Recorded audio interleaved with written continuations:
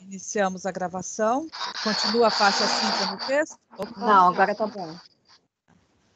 É, então, boa tarde, pessoal. Estamos aqui novamente em mais um clube de leitura. Né? Agora nós vamos para o nosso lar. É muito bom ter todos vocês aqui. Hoje nós temos duas pessoas novas aqui. Nós estamos com a Maria Socorro, com a Mônica, que veio aumentar o nosso time de leitores. Né? E para a gente iniciar, vamos começar com uma prece. Vamos pedir para Maria do Socorro fazer a nossa prece inicial hoje, já que ela está estreando? Ok. Vamos nesse momento elevando os nossos pensamentos a Deus, nosso Pai, a Jesus, nosso Mestre amado, a espiritualidade que nos assiste, aos nossos mentores, para que nesse momento possamos estar sintonizados com as forças do bem, com todos aqueles que nos trazem a paz, a harmonia e o entendimento. E assim, vamos todos juntos é, dizendo a prece que o Mestre nos deixou. Pai nosso que estás nos céus, santificado seja o vosso nome. Venha a nós o vosso reino, seja feita a tua vontade, assim na terra como nos céus. O pão nosso de cada dia dá-nos hoje, perdoai, Senhor, as nossas dívidas, assim como nós perdoamos nossos devedores. Não nos deixeis cairmos em tentações, livra de todos os maus, que teu poder e a glória para o sempre. Que assim seja. Graças a Deus. Graças a Deus. Bora lá, Mi? Bora lá. Quer começar a ler? Pode começar. Bem, é, a gente vai começar hoje, então, né, a série, primeiro livro da série André Luiz, né? E a Lili, ela fez aqui um apanhado é, sobre descrevendo aqui sobre a obra, né, que eu acho muito interessante aí, nosso Lar é uma obra psicografada, e é o primeiro dos 13 livros da série Espírita A Vida no Mundo Espiritual, também conhecida como série Nosso Lar, criada pelo médium brasileiro Chico Xavier. Foi lançada em 1944 e o romance Nosso Lar é um clássico da literatura espírita, que versa sobre os primeiros anos do médico André Luiz, após seu desencarne em Nosso Lar uma colônia espiritual onde se reúnem espíritos para aprender e trabalhar entre uma encarnação e outra. O romance levanta questões acerca do sentido do trabalho justo e dignificante e da lei de causa e efeito a que todos os espíritos, segundo o Espiritismo, estariam submetidos. Bem, o é, que, que, eu entendo sobre o nosso lar? É, Para mim, ele abriu as portas, né? É, ele, é, ele dá uma visão aí mais ampla, mais detalhada sobre o que é esse mundo espiritual. Na minha vida, ele foi um divisor de águas. Até o lançamento do livro, do filme Nosso Lar, eu tinha medo de tudo, de espíritos. De, né? Foi a partir disso que eu comecei então a estudar a doutrina espírita. Então, é, até é, Chico mesmo fala né, que, se, que se, essa obra era pra, pra, para o despertamento da humanidade. Né? E o, o, o Nosso Lar é, é, o primeiro livro que conta, na verdade, só a trajetória dele. Né? Está resumido aí contando sobre a vida de André Luiz. E isso é muito interessante, porque aí nos, a gente vê ali que ele é um espírito imperfeito, cheio de, de dificuldades, né? Faltava ali o entendimento, né? Viveu uma vida desregrada, desencarnou até por suicídio inconsciente. E mesmo assim, ele se voltou ao trabalho, né? Se postou ali de não, eu vou, tomou a decisão, né, de, de mudar e fez um trabalho maravilhoso aí, né, nessa esse nosso lar conta esse, esse, início da vida dele, né? Dessa vida lá nesse mundo espiritual. E depois a gente vai ver nos demais livros que ele realmente foi o tal do repórter da, do mundo espiritual, né? Repórter do além, como ele é conhecido. Então é um livro aí que acho que todos os espíritas, aliás, todo mundo deveria ler, porque ele realmente fala ali, tem muito embasamento, do, todo embasamento doutrinário, né? Primeira coisa que ele começa a falar já é sobre o suicídio inconsciente, né? Que é, é uma coisa que é da, está na doutrina e nós estudamos isso e, sobre, e ele não conhecia, e com certeza muita gente ali que leu também não sabia, né? Que não, não, talvez não tenha o embasamento doutrinário necessário, então ficou conhecendo sobre o suicídio inconsciente na obra de André Luiz, no nosso lar. É isso? Quem mais? Quem mais?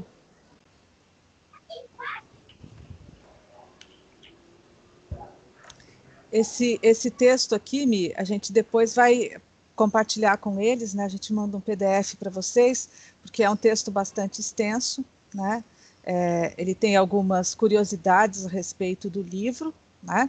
E também é, esse como que foi o encontro né, de André Luiz com uh, Chico Xavier. Como foi proporcionado esse encontro, como Emmanuel trouxe, Emmanuel e Bezerra de Menezes proporcionou esse encontro, a forma com que isso tudo foi trabalhado para que eles pudessem eh, se conhecerem, chegar no preparo de André Luiz lá em nosso lar, né, para todo esse trabalho que ele estava desenvolvendo e depois chegar também para o trabalho que o, o, Chico ia desenvolver aqui dessas psicografias. É uma leitura, está bastante resumido, tá? É, essa leitura aqui embaixo é foi retirado do livro da Sueli Calda Schubert. É muito interessante, é bom para vocês é, aguçar a curiosidade e buscar mais é, informação. Né? Isso aqui a gente vai deixar para vocês aí depois no, no grupo para vocês estarem dando uma lidinha. Vou tirar o compartilhamento então, Mi, que eu acho que agora a gente podia falar do livro, é isso ou você prefere que fique aqui? Não, pode colocar as carinhas de todo mundo, né? Acho que é melhor, né? é, você, já, você já resumiu bem né, essa parte. Acho que só fala é, basicamente sobre é, sobre o livro, né? Como que foi essa, esse, essa, essa junção deles, né? Esse encontro deles, não é isso? Isso.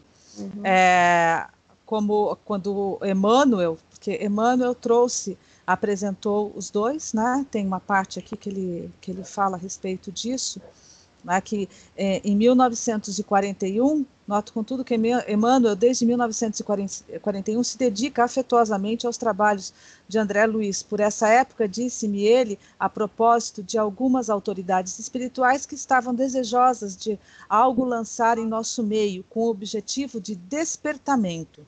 Uhum. Falou-me que projetavam trazer trazer-nos páginas que nos dessem a conhecer aspectos da vida que nos espera do outro lado. E desde então, onde me concentrasse, via sempre aquele cavalheiro espiritual que depois se, que depois se revelou por André Luiz, ao lado de Emmanuel. Assim decorreram dois anos antes de nosso lar. Então houve toda uma preparação disso, né? Houve muito estudo parte, pela parte dos dois, muito preparo também. Né? Para ter essa conexão, né, entre eles havia essa necessidade, né? Uma obra tão grandiosa, porque se a gente for analisar, realmente é a obra do despertamento. Ai, legal olhar para a cara de vocês. é a obra do despertamento, porque, olha, ela veio como livro que já deve ter auxiliado milhões de pessoas, né? Quando foi lançado. Depois ele veio como novela. Eu não sabia que a novela Viagem tinha, era baseada no nosso lar que Muito arrebatou legal. também muita gente, teve reprise depois em 94, né? E o filme Nosso Lar, que teve 4 milhões de, de, de, de como que fala quando vai no cinema? Espectadores? Espectadores no cinema. 4 hum. milhões de foram assistir o, o, filme no cinema, né? E se você olhar no, no, no YouTube, também assim tem é recorde de visualizações. Então, realmente veio para esse despertamento, né? Que eu sou um exemplo de, desse, desse fato. Bem, o que, que, vocês acharam? E aí, Verinha, o que, que você achou? Fala aí para gente. Eu gostaria de ter tido um tempo para fazer um resuminho, como normalmente eu faço, né? Mas eu sou meia suspeita para falar desse livro, porque foi graças a ele que eu entrei na doutrina espírita. Uma amiga me emprestou o livro, eu li e fui conversar com ela, não tinha noção do que era isso. Ela falou: ah, deixa, eu vou te levar, vamos lá comigo, eu vou te levar para você ver. Estou até hoje há uns 30 anos mais ou menos. Então, eu acho os conceitos que ele dá, aquilo que você falou do suicídio involuntário, o encontro com a mãe dele, que estava num outro plano um pouco acima, ela teve que descer para vir falar com ele, que bate o que a gente estava falando no Evangelho hoje. Cada um está numa fase.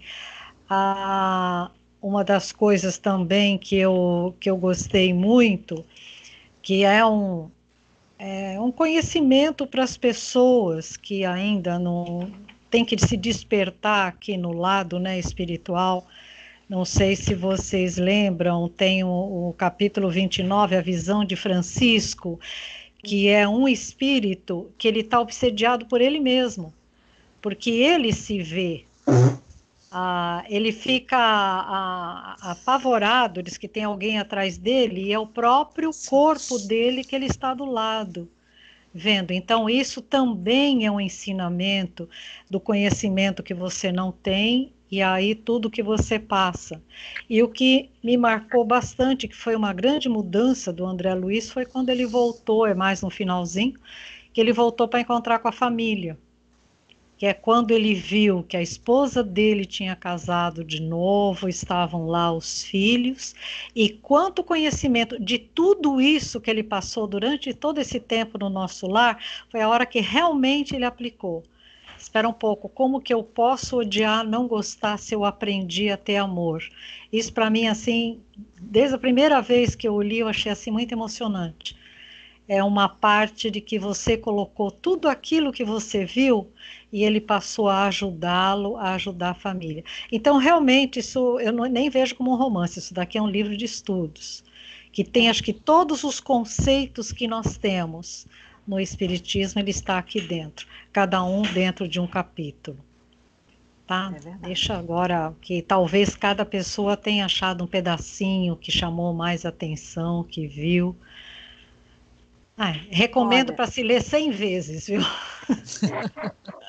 Olha, tem duas coisas assim é. que eu que eu assim é, que eu gosto muito desse livro. Dessa vez eu não li, dessa vez eu ouvi radionovela. Hum. É, então tem duas coisas. É que ele, um espírito super imperfeito, né, com várias oh. coisas para resgatar, ele consegue ali com muito esforço, muito trabalho, que dá um salto na evolução dele. Uhum. Porque esse trabalho que ele fez para a humanidade, né, foi um salto na evolução dele. Porém, um espírito ainda muito imperfeito, né? Veja o caso da Elisa, que está lá no capítulo, lá mais para o final, que eu não lembro o capítulo. Elisa, a empregada da casa dele, que ele uhum. destruiu uhum. a vida da Elisa, uhum. né? Que é algo que, que ele vai ter que reparar. Em alguma encarnação ele vai precisar reparar essa, isso, né? É, e o, outra coisa foi a questão do aquela frase que a gente sempre ouve do nosso querido Mário Mazei. Como que é? Cadê? Qual delas, Mi? Ah, peraí, peraí, deixa eu achar aqui.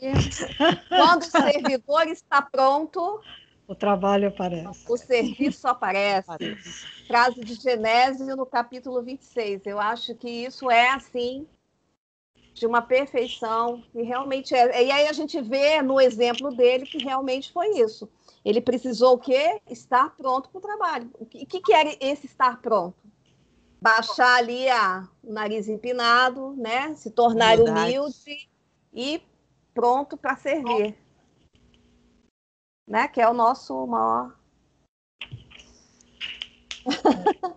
então é uma coisa que eu achei muito interessante. Eu acho que nessa caminhada dele, dessa busca da humildade, os exemplos que ele via na frente dele e que ele não conseguia trazer para si, né? Ele no começo ele via sempre o outro, mas como que não sei o que e tal, né?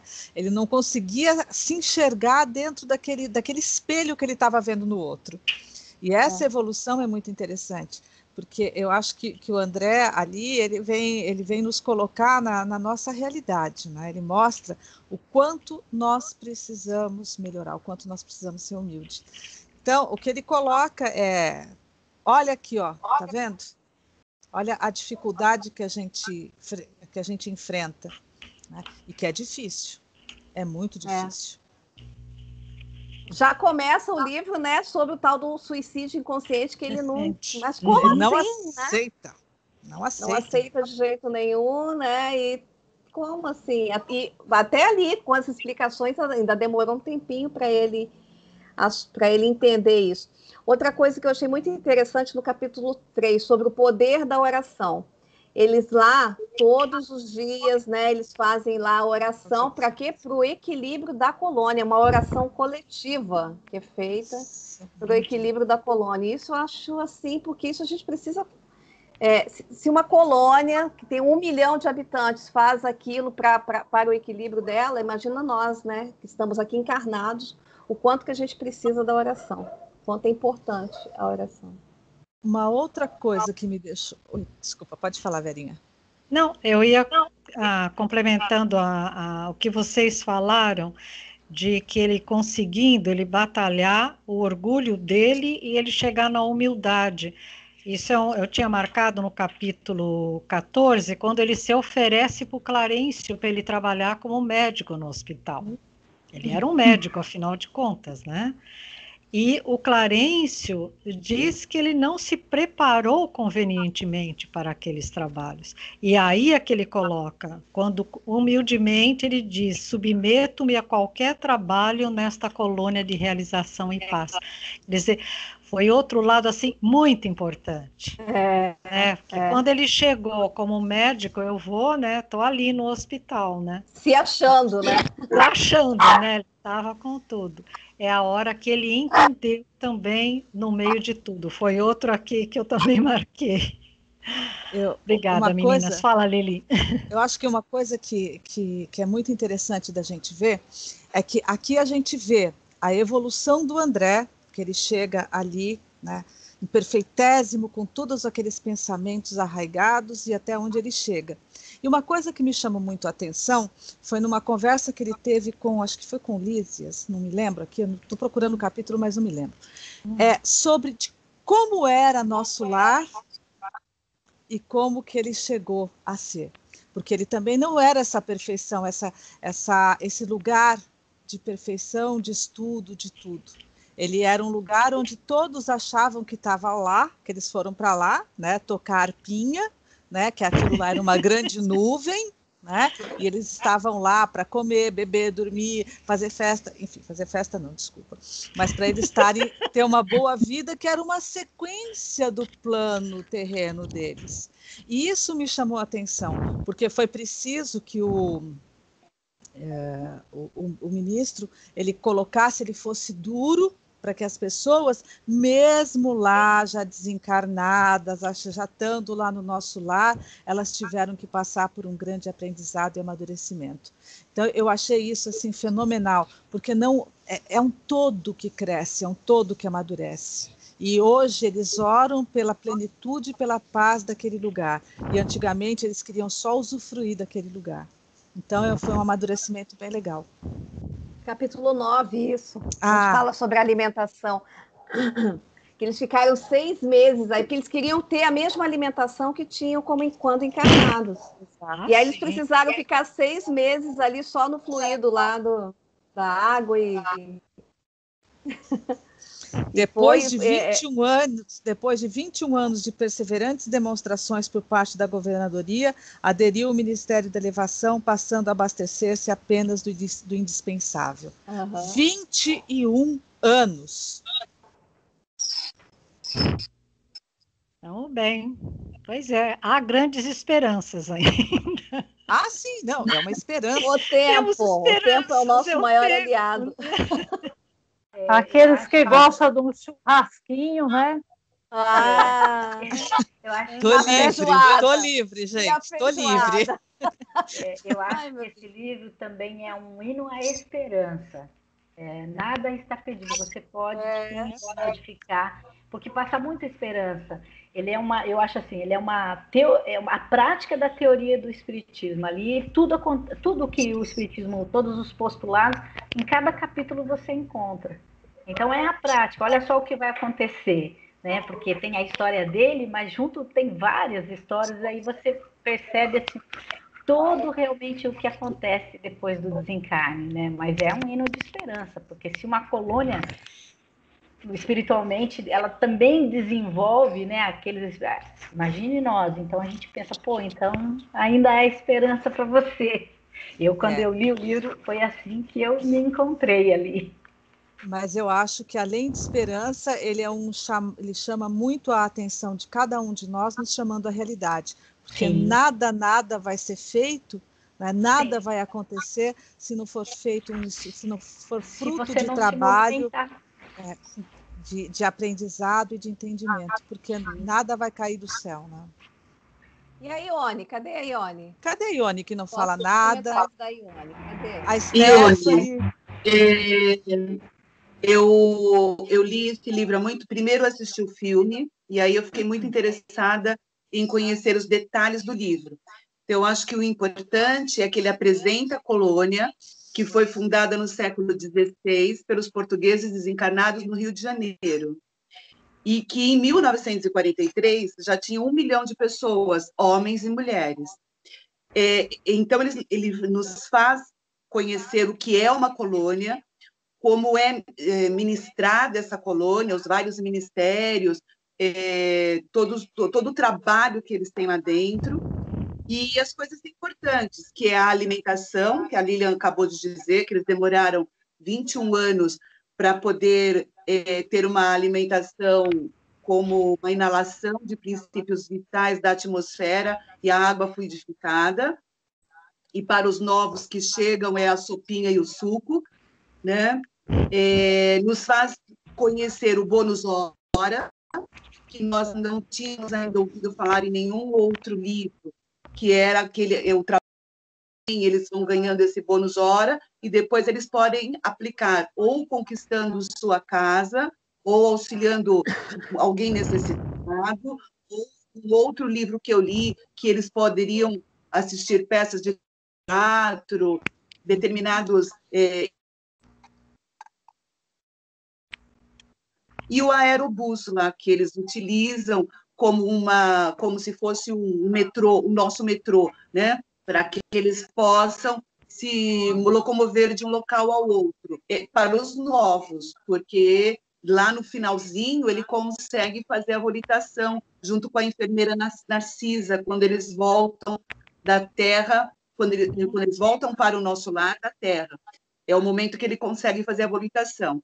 Então, essas, eh, essas informações da colônia são essenciais porque nos faz ver como é a alimentação, a locomoção, é, esse o que eles ganham com o trabalho né, em relação ao, ao próximo e a história da volitação que nós ainda não tínhamos ouvido em nenhum, não tínhamos visto em nenhum outro livro.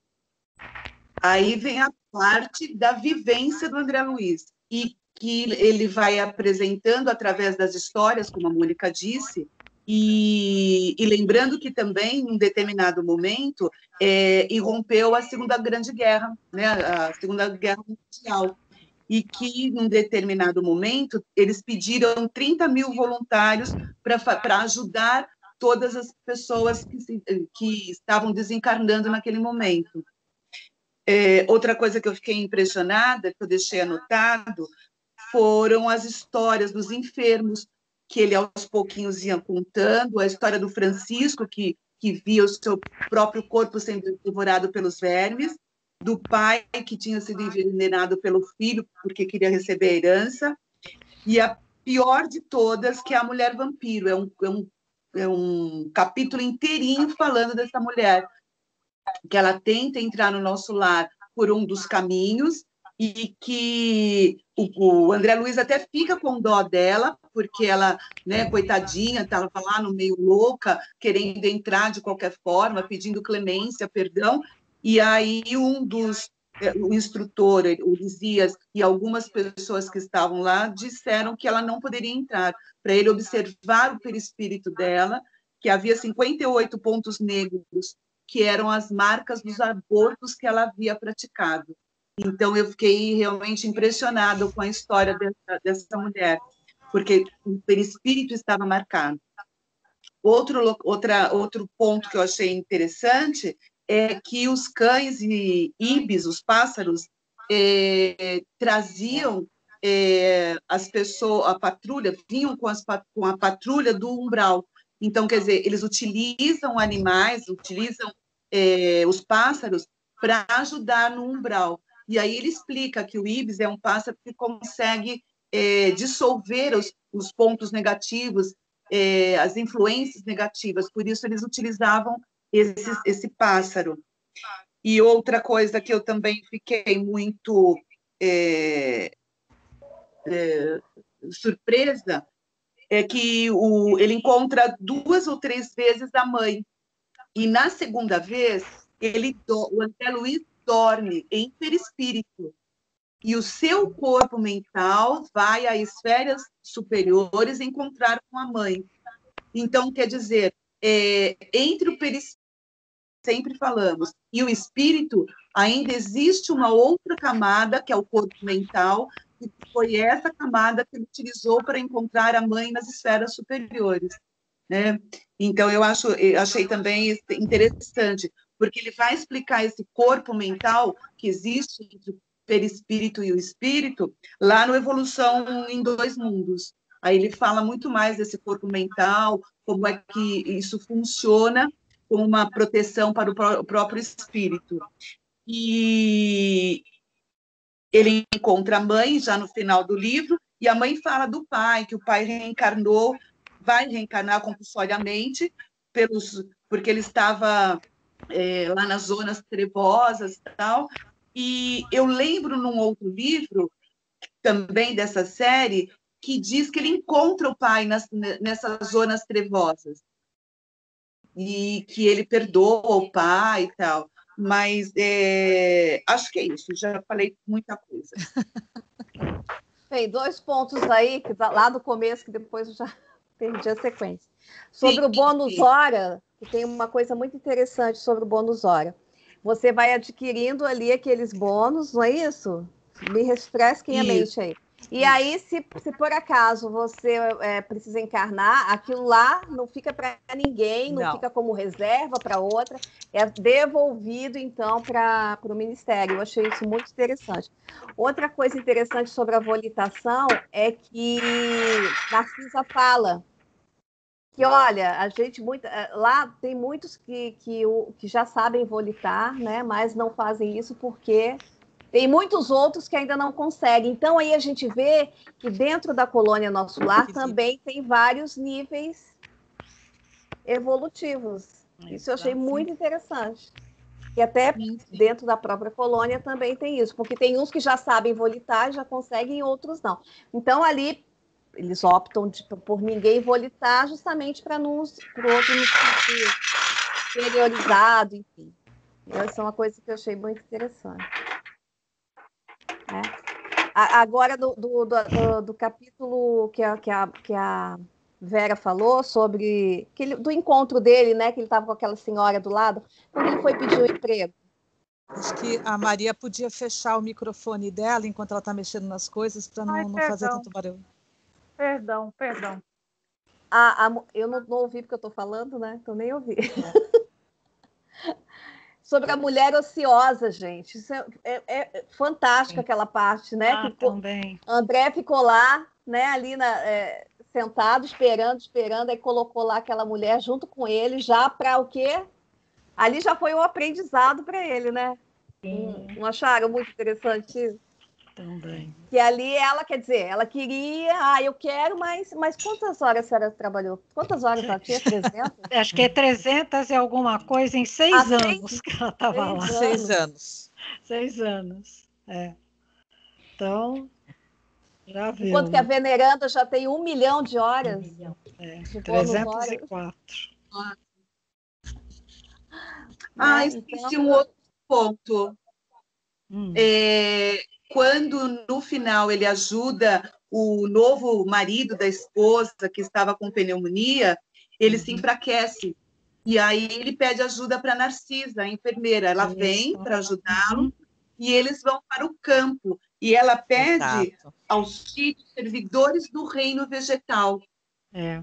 Então, quer dizer, nós também temos espíritos dentro dessa nossa Mata Atlântica toda, que, que ajudam, que auxiliam uhum. é, ao refazimento dos próprios espíritos quando estão aqui na Terra.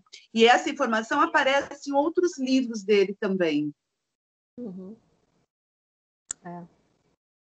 é essa, é, esses seres são os elementais, tem alguma coisa, Leita? Tem, é, tenha uma leitura a respeito, porque eles estão dentro de uma fase da evolução, eles ainda não são humanos e já passaram da fase animal. Então, eles estão numa fase ainda de, de, de ajuda, eles cuidam da natureza. Né? Tem uma leitura bem interessante a respeito disso. Né? De evolução, é. isso. De transição seria mais ou menos isso. isso né? É, mais ou menos isso. É, Outra coisa que a Ione até mencionou sobre a quando ele vai visitar lá a, a mãe, né? Que ela fala é, que, que vai precisar reencarnar novamente. Aí ela fala que um espírito mais evoluído, um espírito inferior não pode ir às esferas mais evoluídas, mas o, o superior pode descer à inferior. Então, isso também é uma base doutrinária. É. Né? Essa... Que essa o mais, como é, como que é aquela? Quem pode o mais, quem pode o mais, pode o menos. Quem pode o menos, não pode o mais. o mais. Uma frase do Mário também, né? O Mário sempre é. cita isso. Sim. É. Uhum, a Stephanie está quietinha. O espírito é, vampiro. E a Stephanie, você quer falar alguma coisa? Era legal, né? No capítulo 7, quando ele pergunta onde que tá a mãe, né? Aí o Elisias dá uma explicação para ele que faz a gente pensar, né? Sobre o que a gente tem que desejar. Aí ele fala assim: convém não esquecer, contudo, que a realização nobre exige três requisitos fundamentais: a saber, primeiro, desejar, segundo, saber desejar e terceiro, merecer, ou por outros termos, vontade ativa, trabalho, persistência e merecimento justo. Eu achei que isso se encaixa perfeitamente aqui, né, onde a gente está. Que a gente tem que saber, é, como que fala? Pedir, né, desejar uma coisa que realmente vale a pena. Não sei, eu fiquei meio confusa agora. Não, mas é, é isso mesmo. É isso mesmo. Tem é a mesmo caminho. O de, a gente aprende lá para praticar que e é esse caminho aqui você saber desejar você é, fazer por onde né? E que também ter o merecimento. Às vezes a gente faz por onde a gente faz tudo mas ainda falta um pouco. É, é com as batalhas do espírito também de tudo que a gente tem né? Tudo isso aí é um, um protocolo também. É. ele precisou trabalhar um ano para poder ter o merecimento de visitar a família Sim. E, não, e foi, não foi só o trabalho, na verdade, ele precisava do amadurecimento espiritual para poder enfrentar a prova. Exatamente. Também, né? Exato, é, porque às vezes a gente deseja alguma coisa, a gente quer algo, mas você não está preparada para aquilo, uhum, né? Então você não tem um amadurecimento ainda. Então, às vezes, não, pera lá, precisa passar mais um tempo, você amadurecer para você saber gerenciar tudo que vem para você.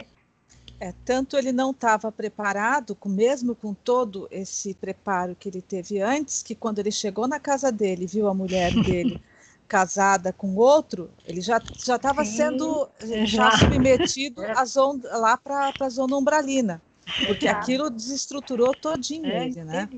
Uhum. Então isso isso é uma coisa que que faz com que a gente pense também, porque nós somos muito falíveis, a gente tem que vigiar muito os nossos pensamentos, os nossos sentimentos.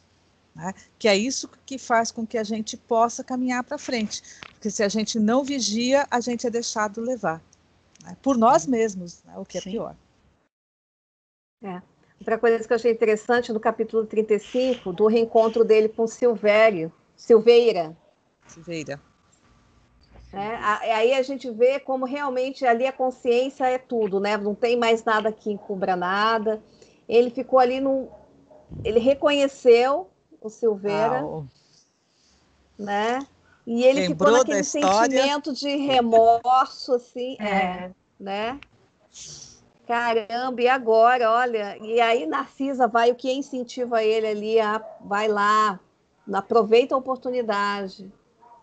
E o que que ele, o que que Silveira responde que eu achei assim, na verdade, não, olha, eu só tenho a agradecer ao seu pai, porque na verdade ele foi um benfeitor para mim. E aquela coisa do nós devemos ter nos nossos inimigos reconhecer neles um instrumento de, de, de aperfeiçoamento. Né? E foi, Silveira realmente é, buscou, viu isso, né?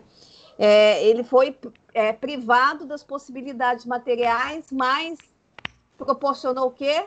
Dele, que ele fosse atrás das, das, das espirituais. Então, é mais um ensinamento aqui também, né?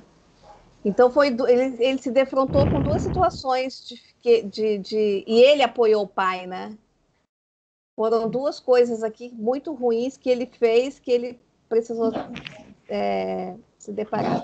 Primeira foi o Silveira e depois o, a Elisa. É. é. É isso aí. Outra coisa que é interessante é sobre o, o, sonho que ele teve, né? Aquela que a gente aprendeu já, no, que está no livro dos médiums, sobre o quando nós estamos aqui, estamos são trino, né? É corpo, material, perispírito e espírito. Estamos encarnados quando vamos em desprendimento é o, o perispírito.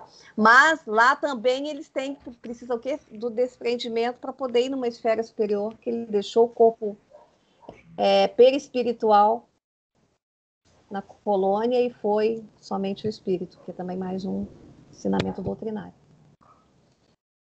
E a, a questão da veneranda, aquela mensagem que ela deu sobre o pensamento, que eu achei bárbaro também, que ela diz que o pensamento é uma língua universal, a criação mental é quase tudo em nossa vida, que, que na verdade é isso que a gente também é falado muito sobre isso, né? A questão do pensamento, que na verdade é o pensamento que comanda tudo. É, o pensamento cria e já está feito. Então nós devemos o quê? A, é, nos doutrinar a controlar o nosso pensamento.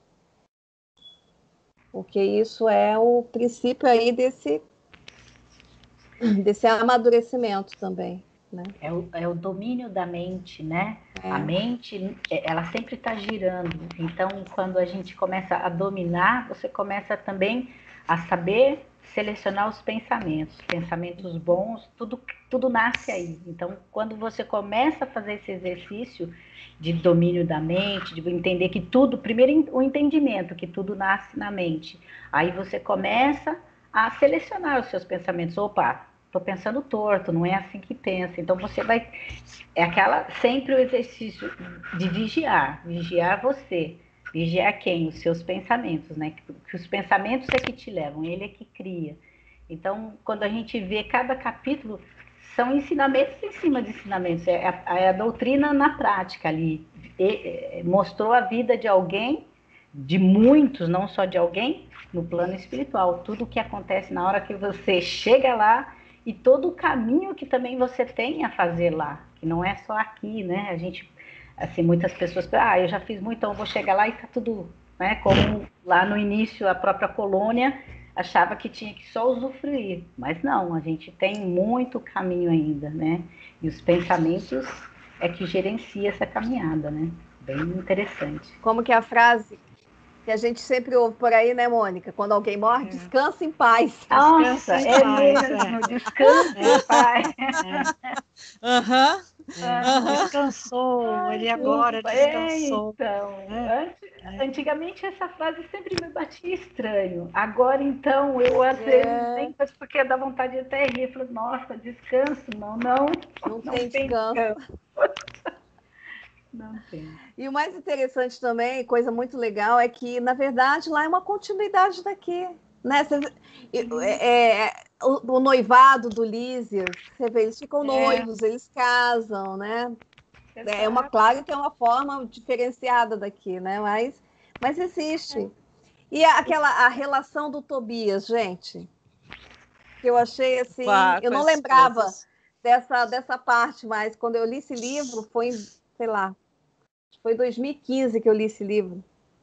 Eu não lembrava mais dessa parte do Tobias, que ele morava com as duas esposas. As duas Sim. esposas, é. Né? E era, já era o sentimento ali de é, fraterno, né? É, de como irmãos. Uhum. Exatamente. Então, e é, é interessante que, que, assim, você vê aquele relacionamento, aí você fala, nossa, então a fraternidade é o amor universal. É quando você sai daquela coisa, eu e você, e porque quantas vidas a gente vê, né? Quantas vezes cada uma que já teve, quantos companheiros, quantos isso. E é aquela coisa, aí a família universal vai se transformando numa família, né? Cada vez mais vamos nos amando e vai. E chega lá, você pode encontrar assim. Aí vai, vai definir a sua conduta. Se você vai amá-los universalmente ou vai um brigar com o outro. É a, é a evolução, é o grau evolutivo mesmo, né? É interessantíssimo. Essa coisa da família universal, eu, eu assim, eu, eu acho que é muito parecido com a antena do Wi-Fi. Sim. né? Porque quanto, quanto mais você evolui, mais você vai ampliando essa, essa família espiritual. Consequentemente, amor aí universal, porque você só vai ampliando conhecimento de, de espíritos, né? Enfim. É, acho que é, é anteninha. E, e aí a, a, última prova dele, né? Na verdade, já foi todo um treinamento ali, né? Um ano de treinamento para a prova final. O Enem. É o Enem. que era o quê?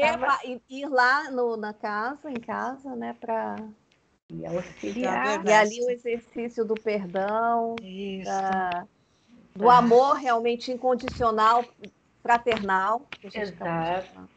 É. Interessante. E todo um preparo, né? Porque se ele tivesse ido antes, nada disso teria acontecido, né? Ah, Seria bem problemático, isso, né? Então, é tudo preparo, não tem jeito. E aí, o, o que, que ele ganha com isso? Quando ele passa na prova, o título de cidadão de nosso lar. Ser cidadão de nosso lar, exatamente. Finalzinho. É. Então é um livro assim que realmente, como a, a Mônica colocou no começo, né, que nos dá muita esperança, realmente nos dá mesmo. Que é um livro que mostra que apesar de todas as situações que você viveu, que ainda há uma segunda chance, né? Mas para isso há necessidade do quê? Do trabalho árduo, para esse desenvolvimento, né? Então, não é simples assim, não. Você pode, você vai conseguir chegar lá, tá? Sim. Mas você tem que correr atrás, né? Mostra bastante a misericórdia de Deus, uhum. né? Que assim, há inúmeras chances.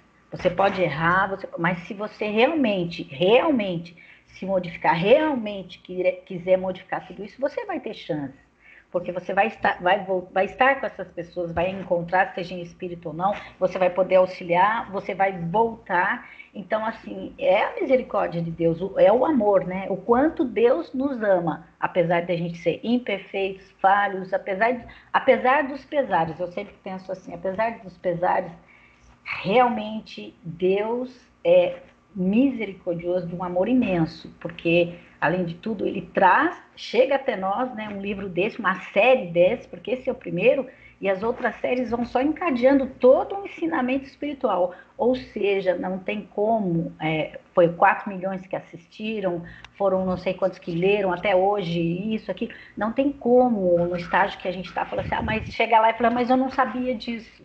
Ah.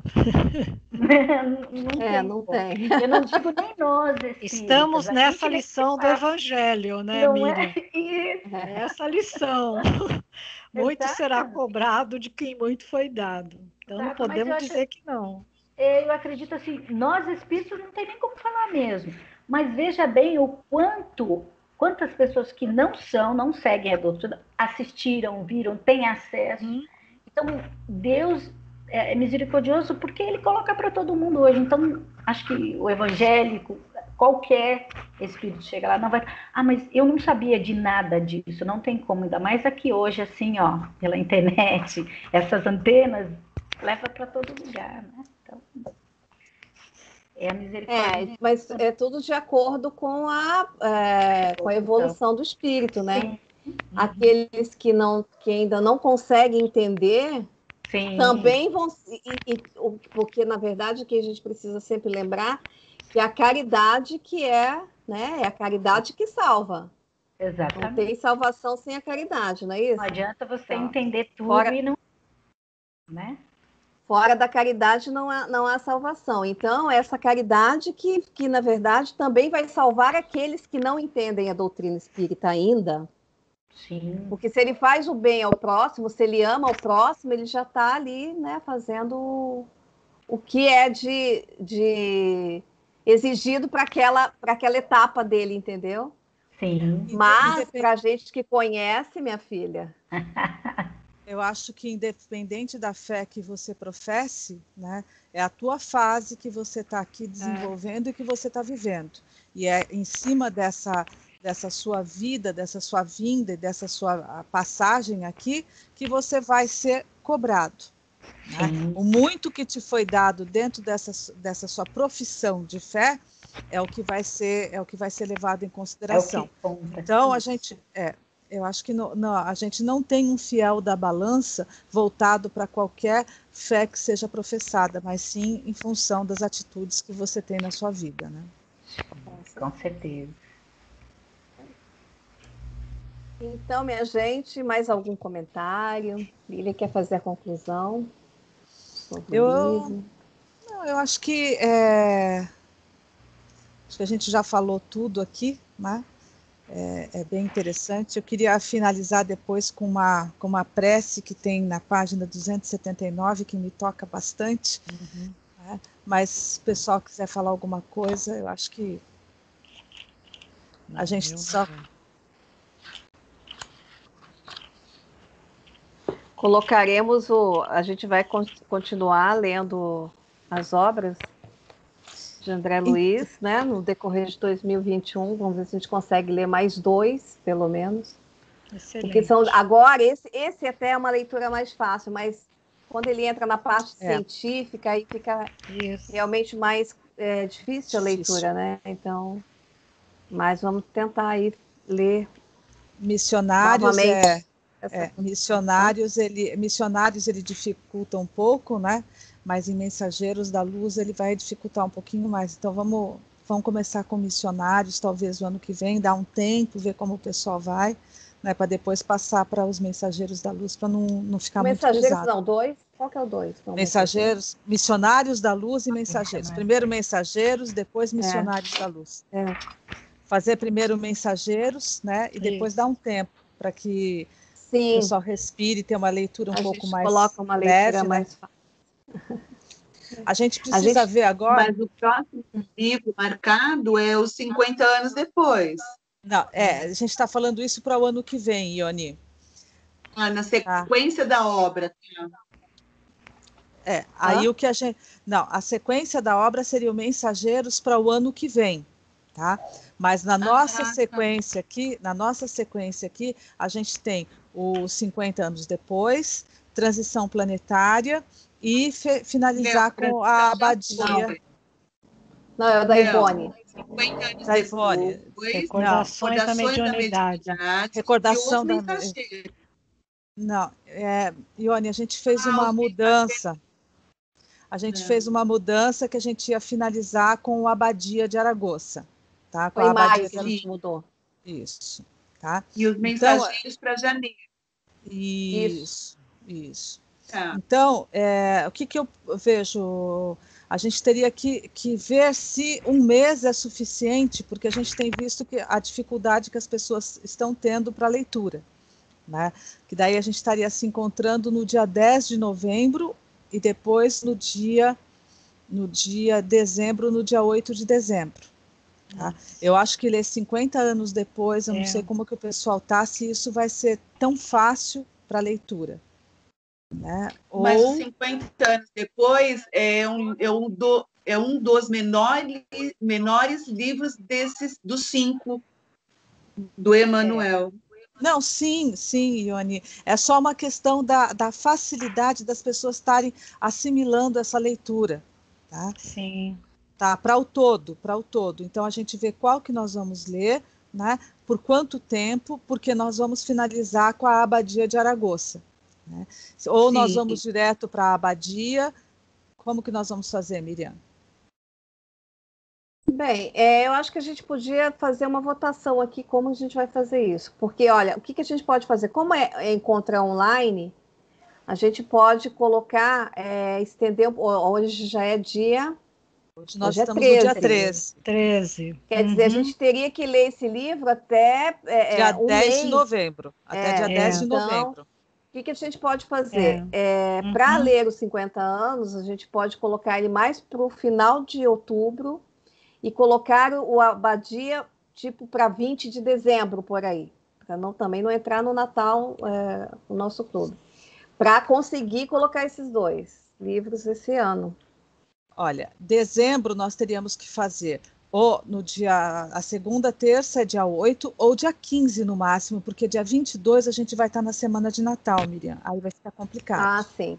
Tá? Então, no máximo dia 15, que seria a terceira semana. O, o, o Abadia de Aragoça, eu... ele é pequeno, né? Não é, não é, tem assim, não é, é um livro é uma leitura e, é. fácil de ler. Então, Sim, eu é. acho que talvez a gente consiga fazer os dois. Se a gente, se a gente fizer o próximo livro, a nossa próxima leitura, para o dia, por exemplo, para o dia 17 de novembro, Tá? E aí a gente colocar, ou do dia 24 de novembro, por exemplo, e aí depois a gente fazer a leitura, a, a, o encontro do Abadia no dia 15 de dezembro, eu acho que dá tranquilo. Ah, ótimo, então fechou. acho que dá. Tá? Então vai ficar os 50 anos depois? 50 anos depois, é esse ou vocês preferem o da Ivone? Olha, eu, eu se é para dar um palpite, depois. É, eu faria isso, ah, porque nós temos uma porção de livros do atendimento fraterno, nós vamos entrar numa fase de pesquisas, de é leituras, e são diversos livros. Então, vai ser muito, pelo menos estou falando por mim, né? Estou aproveitando já que todo mundo está falando. Vai ser muito difícil eu conseguir ler os 50, 50 anos depois e mais todos esses outros. Então poderia ser um menorzinho nesse meio. O da Ivone? Pode ser. Aí que é, tem. Que nós temos, nós temos o da Ivone e então. o do e o 50 anos depois. Tá? Então, nós vamos então, finalizar, nós vamos finalizar isso. em dezembro com a Abadia. Tá? Agora, nesse momento, o que, que vocês. Depois é um romance. É, fica muito mais fácil para que a gente leia, a leitura é muito mais é, fluida isso. do que isso. o da da Ivone. O da Ivone tem muito mais termos técnicos. A cada capítulo, ela primeiro explica é, alguns fenômenos para depois contar as, a própria história. Então, é o livro mais difícil. É, o da tá. Ivone eu não li ainda, então também, também eu não, tenho. Também não. não tenho. Não... Bem, tá. vamos, vamos fazer o seguinte. É, a princípio, vamos, vamos ficar com 50, 50 anos. anos depois, né? Eu, é, vamos ver se a gente consegue, né, Vera? Porque realmente a gente vai ter. Nós vamos ter muita coisa. Coisa para estudar. Tô... Fora a leitura olha, agregada, nós né? temos, olha, nós Fora temos o, o Transição Planetária. Não, isso já lembro. Nós, nós já Aliás, desculpa, já desculpa, está lá embaixo. É, é os 50 anos, recordações e abadia. Uhum. Isso. Então, Não seria sei, gente. Eu, eu, que que eu particularmente, eu acharia recordações. Ele é fininho, ele não é um livro grosso. Vamos dar uma olhada lá e depois a gente comenta. Isso, aí a gente coloca, vocês colocam no site. Vamos deixar. É. Vamos deixar marcado, então, já os encontros, 24 de novembro e 15 de dezembro. Isso a gente deixa tá. fechado. Ah, tá? já vou marcar. Tá? E agora a gente só resolve a questão do, do, do, do ah, da recordações da mediunidade ou 50 anos depois. congelou tudo. Voltou. Foi, Voltou. foi. Tô vendo tudo. Então tá. tá. E para o ano que vem, então, a Hum. gente está já estudando a- a- os livros do ano que vem. É, é, e aí, até o final do mês, a gente já passa a lista, né, para a gente já ir Isso. providenciando. E, e aí, sim, a gente, como a gente vai entrar com essa com a série André Luiz, então a gente vai fazer mais espaçados. No mês que for livro do André Luiz, a gente vai ter um mês a mais para poder ler, tá? Tá. E não adianta também ler a, tra- a- correndo, Sim, tananã, Isso, né? é, é. Tem milhares de né? coisas para Eu também acho. e também não assimilar. Então aí não, não tem porquê. A gente tem aí eternidade para ler tudo, sabe? Pra ir lá, mas. né? Claro. Eu vou levar, eu vou levar a colinha. Quando eu desencarnar, eu vou levar a colinha para voltar depois e encontrar minha biblioteca. esse, já li. não precisa ali, tá guardado. Não, para me encontrar meus livros depois. É, eu também, eu também. Tá bom. Ai, ai. Então tá bom, meninas. Então, para encerrar, a gente pode pedir para a Mônica, né? Já que a Maria que chegou hoje é, é, fez a, a oração. Iniciou? A Mônica termina. A Lilian falou de uma prece que ela queria fazer. Ah, é. Mas tá antes da certo. prece final, você faz a finalização, eu só quero ler esse aqui. Tá, Tá. acabou. Pai querido, enquanto a noite traz a bênção do repouso, recebe, Pai carinhoso, nosso afeto e devoção. Enquanto as estrelas cantam na luz que as empalidece, vem unir a nossa prece à voz do teu coração. Não te perturbes na estrada de sombras do esquecimento, não te doa o sofrimento, jamais te firas do mal. Não temas a dor terrestre, recorda a nossa aliança, conserva a flor da esperança para a aventura imortal. Enquanto dormes no mundo, nossas almas acordadas relembram as alvoradas dessa vida superior. Aguardo por vir risonho, espera por nós que um dia volver, vol, volveremos a alegria do jardim do teu amor. Venha a nós, Pai generoso, volta a paz do nosso ninho, torna as luzes do carinho, ainda que seja a sonhar. Esquece um minuto a terra e vem sorver da água pura, do consolo e de ternura das fontes de nosso lar. Nossa casa não te ouvida, o sacrifício, a bondade, a sublime claridade das tuas lições do bem. Atravessa a sombra espessa, vence, Pai, a carne estranha, sobe ao cume da montanha, vem conosco orar também.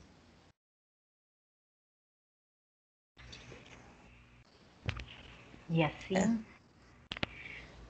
vamos continuar nessas vibrações de paz, de amor, de tranquilidade. E vamos elevando os nossos pensamentos, vamos abrindo os nossos corações e agradecendo ao Pai tudo de bom que hoje nós pudemos desfrutar dos ensinamentos do Mestre. Agradecidos que estamos Rogamos a Deus, nosso Pai, que permita que os Espíritos Consoladores estejam ao nosso lado, nos intuindo, nos modificando internamente, nos preparando para o retorno à pátria espiritual.